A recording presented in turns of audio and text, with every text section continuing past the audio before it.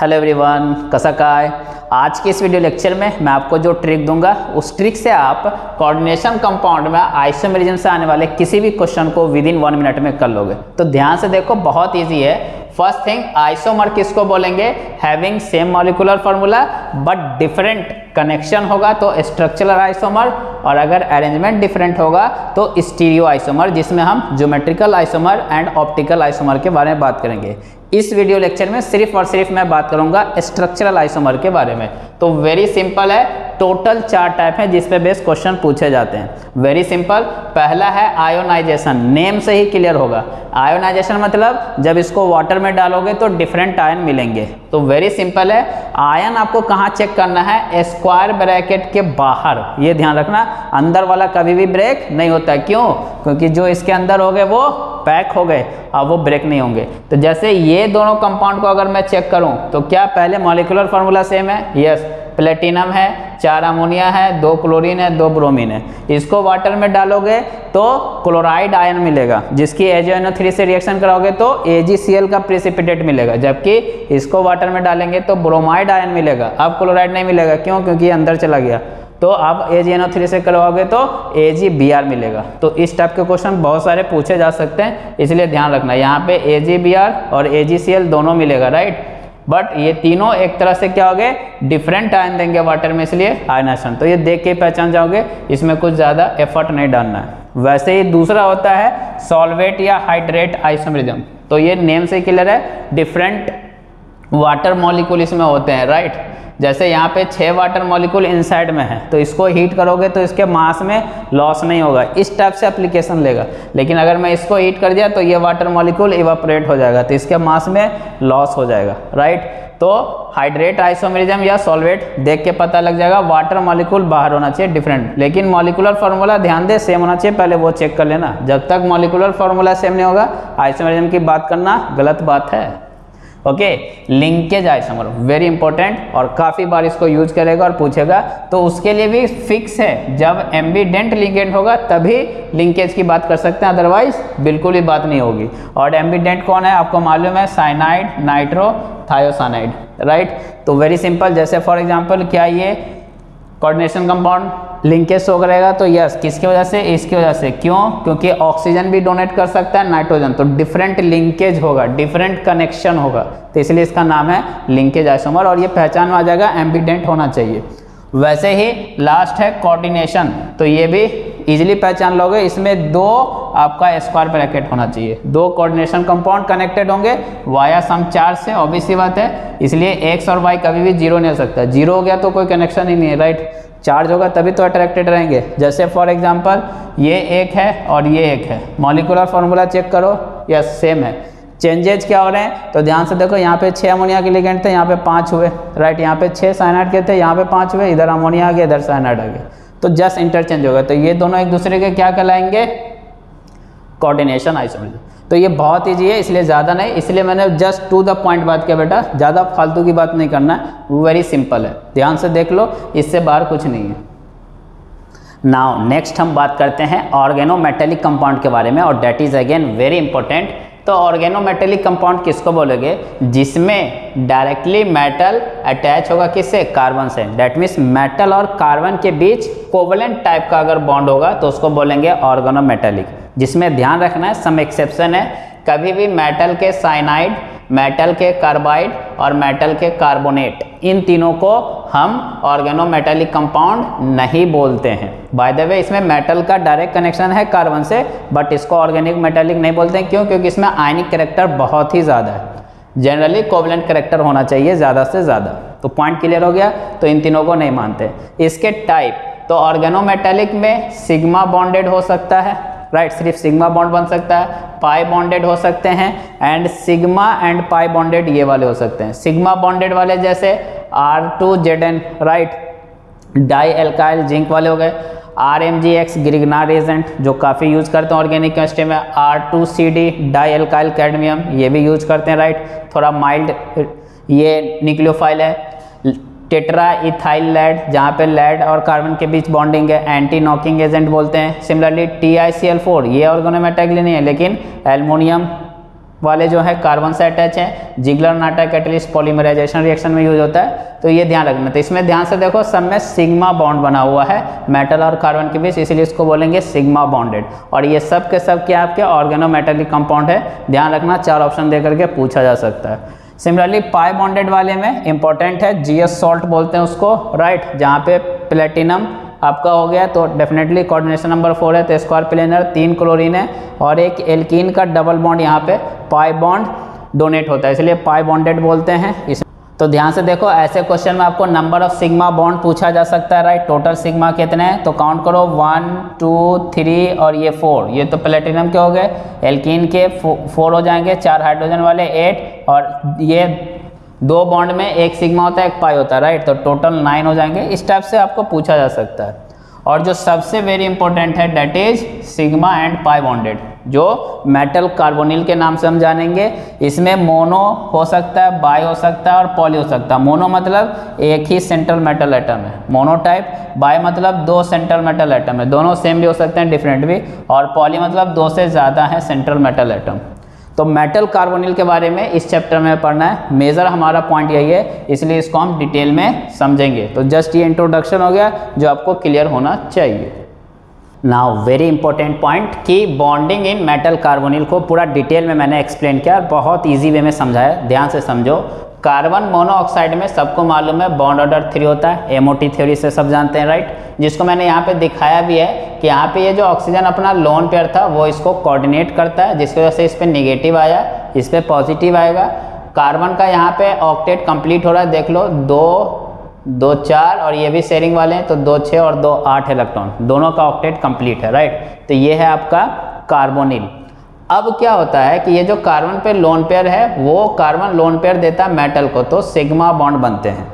फिर मेटल के पास भी डी सबसेल में कुछ ना कुछ इलेक्ट्रॉन होंगे तो मेटल इसको सीओ को देता है। और सीओ को कैसे देता है? तो इसके एंटी बॉन्डिंग में। तो चूँकि फिर से बॉन्ड बन रहा है तो पहला सिग्मा होता है रेस्ट जितने होते हैं पाई होते हैं, इसलिए ये पाई बॉन्ड इसलिए सिग्मा पाई दोनों यहाँ पे कनेक्शन होता है। जब भी इस टाइप का हो, जब लिगेंड आपका मेटल को इलेक्ट्रॉन दे रहा हो तो सिग्मा बॉन्ड बनेगा और मेटल फिर आपको लिगेंड को दे रहा हो तो पाई बॉन्ड और इस टाइप की बॉन्डिंग को हम बोलते हैं सिनर्जिक बॉन्डिंग ध्यान रखना सिनर्जिक बॉन्डिंग जहाँ पे सिग्मा पाई दोनों फॉर्म हो रहा है। राइट डोनेशन, वही पॉइंट है यहाँ पे, donation of lone pair of electron, ligand जो है वो मेटल को दे रहा है राइट और कैसे दे रहा है? तो मेटल के पास वैकेंट ऑर्बिटल होना चाहिए, तभी दे पाएगा, इसलिए डी ऑर्बिटल लेते हैं। Similarly donation of D electron metal के पास जो अपना डी इलेक्ट्रॉन है, वो देता है लिगेंड को। और लिगेंड को कहाँ पे देगा? तो एंटी बॉन्डिंग मॉलिकुलर ऑर्बिटल में। जैसे सीओ का मैंने एमओटी डायग्राम बनाया जो कि सबको मालूम होता है। मैं लास्ट वाला दिखाया हूँ तो ये पाई होते हैं, ये सिग्मा टू पी जेड ये पाई स्टार वाले हैं राइट ये खाली है। तो मेटल ने जो इलेक्ट्रॉन दिया है, वो कहाँ जा रहा है? पाई स्टार वाले में, ये भी पूछा जा सकता है। सीओ के कहाँ जा रहा है? पाई स्टार वाले में। तो ये पॉइंट आपको क्लियर होना चाहिए। बॉन्डिंग कैसा होता है, वो भी समझाया है कि जब कार्बन आपका लोन पेयर देगा मेटल को तो सिग्मा बॉन्ड बनेंगे।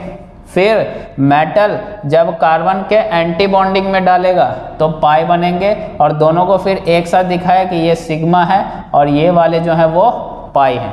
तो इस टाइप की बॉन्डिंग को सिनर्जिक बॉन्डिंग बोलते हैं। तो ये तो सबको समझ में आ जाता है, इसका अप्लीकेशन कैसे लेगा वो? तो वेरी इंपॉर्टेंट यहीं पे है, ध्यान से देखो बेटा, कि मेटल पर अगर निगेटिव चार्ज इंक्रीज होगा तो डैट मीन्स मेटल के डी ऑर्बिटल में ज़्यादा से ज़्यादा इलेक्ट्रॉन है तो बॉन्ड ऑर्डर जो कार्बोनिल का होगा कार्बन और ऑक्सीजन के बीच का वो कम होगा। कैसे? ध्यान से देखो और समझो कि मेटल पे निगेटिव इंक्रीज होने मतलब इसमें ज़्यादा से ज़्यादा इलेक्ट्रॉन हो रहा है। तो ये ज़्यादा से ज़्यादा इधर बॉन्डिंग करेगा तो ये जो त्रिपल बॉन्ड है, ये इधर की तरफ़ शिफ्ट होंगे राइट बात समझ में आ गई? तो ये बॉन्ड इधर की तरफ़ शिफ्ट होता जाएगा मतलब ये ट्रिपल तीन बॉन्ड हो सकता है, दो बॉन्ड में कन्वर्ट होने की कोशिश करेगा। तो इसलिए मैंने लिखा है कि मेटल पे निगेटिव बढ़ेगा तो बैक बॉन्डिंग बढ़ेगी। तो ये अगर इधर की तरफ़ बॉन्ड बढ़ा रहा है तो ये बॉन्ड ऑक्सीजन की तरफ़ शिफ्ट हो जाएगा, ये दोनों इलेक्ट्रॉन इसलिए बॉन्ड ऑर्डर कार्बन और ऑक्सीजन के बीच का कम होगा तो बॉन्ड लेंथ क्या हो जाएगा? ज़्यादा हो जाएगा। इस टाइप के बहुत क्वेश्चन पूछे गए, ध्यान रखना। और वाइस वर्षा उल्टा अगर इधर कम हो रहा है इलेक्ट्रॉन तो ये बॉन्डिंग इधर की तरफ़ बढ़ेगी तो इसका बॉन्ड ऑर्डर बढ़ेगा बॉन्ड लेंथ कम होगा और इसका इधर की तरफ़ बॉन्डिंग होने से कार्बन और मेटल के बीच का स्ट्रेंथ बढ़ेगा राइट क्वेश्चन कैसे पूछे जा सकते हैं? एक यहाँ पे मैंने आपको एग्ज़ाम्पल भी लिया है M N C O six plus charge है C R C O six V C O six minus है। तो सब में अगर आप ध्यान से देखो तो अगर मेटल और कार्बन के बीच बॉन्ड का पूछा जा रहा है कि किसमें ज़्यादा ऑर्डर होगा तो डेफिनेटली सबसे ज़्यादा थ्री में होगा। क्यों? क्योंकि वेनेडियम पे क्या गया? माइनस तो माइनस आने की वजह से ज़्यादा से ज़्यादा बैक बॉन्डिंग होगी राइट तो मेटल और कार्बन के बीच बॉन्ड बढ़ेंगे। तो अगर मेटल और कार्बन के बीच का बॉन्ड का पूछा जा रहा है? तो सबसे ज़्यादा थ्री में फिर उससे कम टू फिर उससे कम वन क्यों? क्योंकि यहाँ पे मेटल पे नेगेटिव है, यहाँ पे क्रोमियम पे ज़ीरो है, यहाँ पे मेटल पे पॉजिटिव है। वैकेंसी है राइट वेरी सिंपल इसका उल्टा कार्बन और ऑक्सीजन के बीच पूछा जाए। इसलिए क्वेश्चन को केयरफुली रीड करना है। कार्बन और ऑक्सीजन के बीच का पूछा जाएगा तो ध्यान से देखो माइनस वाले में क्या होगा? ज़्यादा से ज़्यादा मेटल डोनेट कर रहा होगा तो ये बॉन्ड इधर की तो कार्बन ऑक्सीजन का क्या हो जाएगा? कम हो जाएगा बॉन्ड ऑर्डर तो सबसे कम किसमें होगा? थ्री में। इसलिए वन सबसे ज़्यादा, फिर टू फिर थ्री तो इस टाइप के क्वेश्चन पूछे जा सकते हैं। ध्यान देना वेरी इंपॉर्टेंट है नाउ नेक्स्ट ऑर्गोनेमेटेलिक कंपाउंड में स्ट्रक्चर के बारे में बात होंगी। तो सबका जो बेसिक पॉइंट है और जो रफ़ी सर का ट्रिक है वो ये है कि आपको सेंट्रल मेटल एटम का जो नियरेस्ट नोबल गैस होगा, उसके इतना इलेक्ट्रॉन कर देना है। चूँकि मैंने बता ही रखा है, इसमें 100 परसेंट आपका सेंट्रल मेटल एटम कौन होगा? 3D सीरीज़ का। तो उसका नियरेस्ट नोबल गैस कौन हो गया? क्रिप्टन उसका एटॉमिक नंबर कितना? 36 तो आपको देखना है कि उसका E A N effective atomic number 36 हो रहा है कि नहीं? बस यही पॉइंट है, ध्यान देना। ई ए एन को 36 कर देना है। कैसे? ध्यान से देखो। NiCO4 क्या इसमें 36 हो रहा है? निकेल का खुद का इलेक्ट्रॉन कितना हो गया? 28 एटॉमिक नंबर कोई चार्ज नहीं तो 28 और ये चार बॉन्ड बनाया, हर बॉन्ड का दो लेना आपको। तो 28 एट प्लस एट कितना हो गया? 36 फॉलो हो रहा है ई एन रूल तो ये अपना स्टेबल है टेट्राहेड्रल है sp3 इसके बारे में बता रखा हूँ। वैसे FeCO5 तो आयरन का हो गया 26 इलेक्ट्रॉन राइट कोई चार्ज नहीं कार्बोनिल न्यूट्रल लिगेंड है। सी ओ फाइव पाँच है तो पाँच का दस लेना राइट डबल करना है, क्योंकि ये जो भी इलेक्ट्रॉन होंगे वो दो लोन दो इलेक्ट्रॉन होंगे, एक लोन पेयर मतलब दो इलेक्ट्रॉन राइट तो कितना हो गया? 26 प्लस टेन थर्टी सिक्स मतलब ये भी फॉलो कर रहा है ई एन रूल को। ध्यान से देखो, बस आपको ई एन को फॉलो कराना है, क्योंकि इस केस में होगा ही फॉलो चाहे कैसे भी करके। इसका स्ट्रक्चर ट्राइगोनल बाइपिरामिडल हो गया S P three D hydration क्योंकि फाइव वाले हैं right similarly C R C O six chromium कितना हो गया? ट्वेंटी फोर राइट और यहाँ पे छः हैं तो प्लस ट्वेल्व हो जाएँगे सिक्स का डबल ट्वेल्व तो total electron thirty six again देखो नियरेस्ट नोबल गैस छः हैं तो ऑक्टाहेड्रल हो जाएँगे तो इस सब में फॉलो हो रहा है। वो केस जहाँ पे फॉलो नहीं होगा तो क्या होगा? ध्यान से देखो, जैसे M N C O five तो मैग्नीज का ट्वेंटी फाइव और सी ओ पाँच है तो दस तो कितना हो गया? थर्टी फाइव अब इसको क्या करना है? थर्टी सिक्स तो इसके पास दो रास्ते हैं। थर्टी सिक्स कैसे कर सकता है? एक इलेक्ट्रॉन गेन कर करके। इसलिए क्या कर लेगा ये? माइनस तो राइट तो इसलिए ये एक अच्छा क्या हो जाएगा? ऑक्सीडाइजिंग एजेंट ऑक्सीडाइजिंग वो होते हैं जो अदर को ऑक्सीडाइज करें इट सेल्फ रिड्यूस हो। तो पूछा जा सकता है, चार ऑप्शन दे दिया which is better oxidising agent तो कभी भी एम इस फॉर्म में रहेगा ही नहीं बेटा। या तो वो इस फॉर्म में चला जाएगा to complete the noble gas configuration इसलिए मैंने बोला कि कार्बोनिल के केस में always E N rule follow होता ही है। और नहीं तो डायमर बना लेगा। अगर ऐसा नहीं किया तो डायमर बनाएगा दो मॉलिक्यूल तो क्या हो जाएगा? M N two C O ten यहाँ पे होगा। इसका स्ट्रक्चर वेरी वेरी इंपॉर्टेंट है। बट स्ट्रक्चर बनाने में फिर से वही पॉइंट ध्यान रखना है कि आपको दोनों मैग्नीज का इलेक्ट्रॉन कितना कर देना है? Thirty six. तो अभी मैं स्ट्रक्चर की बात करूँगा।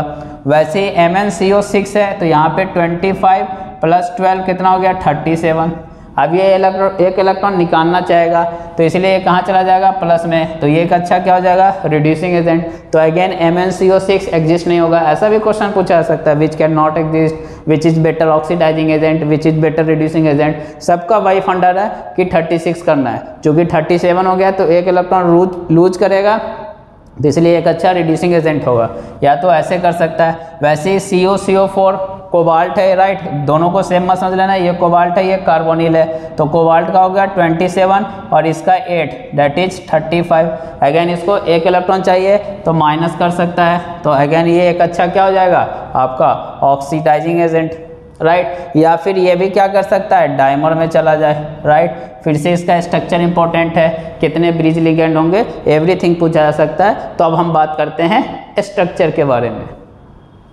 नाउ नेक्स्ट इसके structure that is very important M N two C O ten के स्ट्रक्चर कैसे बनाएँगे? तो आपको अगर नहीं मालूम है तो आपको सिंपल एक पॉइंट बताया है नियरेस्ट नोबल गैस जैसा इसका इलेक्ट्रॉन हो जाना चाहिए। मैग्नीज में कितना इलेक्ट्रॉन आपको मालूम है? 25 इसको कितना चाहिए? 11 इलेक्ट्रॉन 36 होने के लिए राइट तो कैसे होगा? ध्यान से देखो तो ये सीओ कितने हो गए? पाँच, क्योंकि दस हैं तो पाँच इसको पाँच इसको।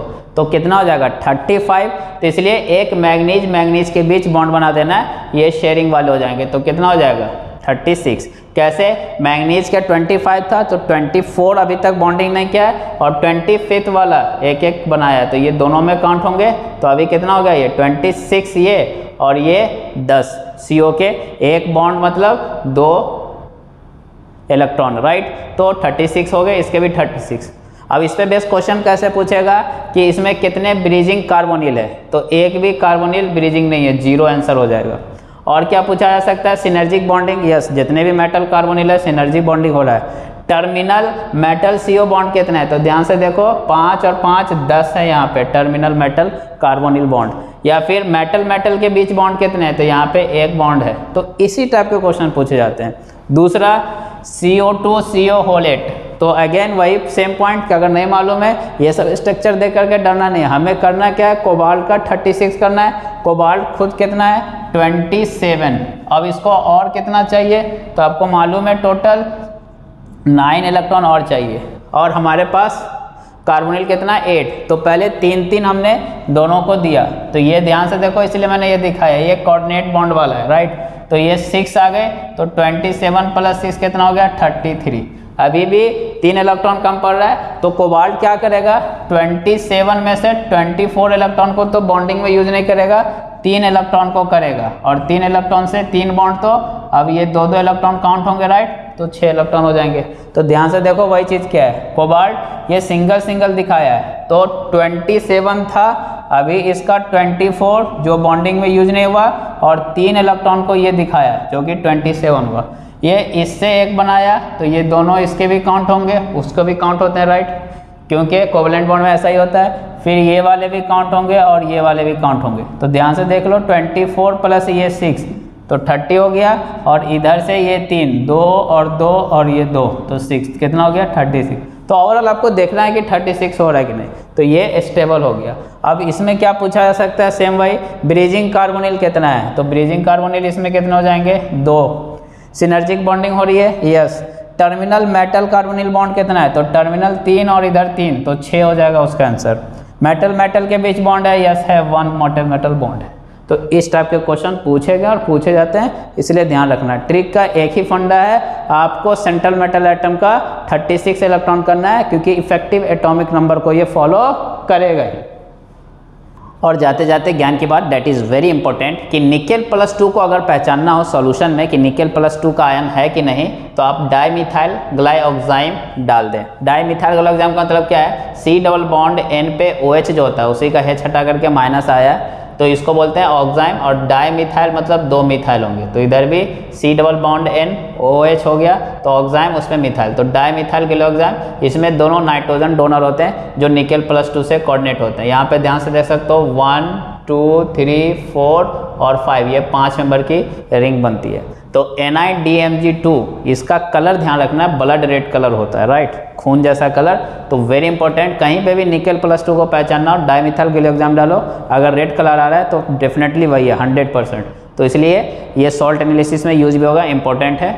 दूसरा silver mirror test right organic chemistry में काफ़ी यूज़ करते हैं राइट तो उसमें एक्चुअली ए जी किसमें होता है? प्लस वन में। A G N S three whole two ये भी एक कोऑर्डिनेशन कंपाउंड है, जो कैसे बन सकता है? जब सिल्वर क्लोराइड की reaction excess of N H four O S से करा देंगे तो। तो सिल्वर सेंट्रल मेटल हो गया, यहाँ पे अमोनिया एज ए लिगेंड का काम करेगा तो ये कंपाउंड बनता है। ये एक अच्छा ऑक्सीडाइजिंग एजेंट होगा, क्यों? क्योंकि सिल्वर यहाँ पे क्या है? प्लस वन में जो ज़ीरो में जाना चाहेगा, छापा वाले राइट बता रखा हूँ ये सब ट्रिक आपको। तो इसलिए ये अच्छा ऑक्सीडाइजिंग एजेंट है, इसलिए ये अल्डिहाइड को एसिड में कन्वर्ट कर देता है राइट बट कीटोन को नहीं करता है तो वहाँ पे यूज़ भी करते हैं ऑर्गेनिक में। वैसे ही एक फेलिंग सोल्यूशन है राइट जिसमें एक्चुअली कॉपर प्लस टू में होता है राइट और ये वाला एक बिग कॉम्प्लेक्स होता है। यहाँ पे ध्यान से देखो, दो एसिड ग्रुप है इसमें और दो ओ OH है। तो यहाँ से ये बाइडेंटल लिगेंड का काम करता है, यहाँ और यहाँ से। तो अगेन इसमें इंपॉर्टेंट पॉइंट क्या? कॉपर प्लस टू से कहाँ पर जाता है? प्लस वन में। ये भी क्या यूज़ होता है? ये भी अल्डिहाइड को ऑक्सीडाइज कर देता है एसिड में राइट ऑनली कीटोन को नहीं। तो ये दोनों यूज़ होते हैं ऑर्गेनिक केमिस्ट्री में। तो यहाँ पे उसका इंपॉर्टेंस था। तो आई होप ये आपको structural isomer and metal carbonyl अच्छे समझ में आया होगा। अगर ये पूरा समझ गए बेटा तो आप कोई भी प्रॉब्लम को आप यूँ कर लोगे। Thank you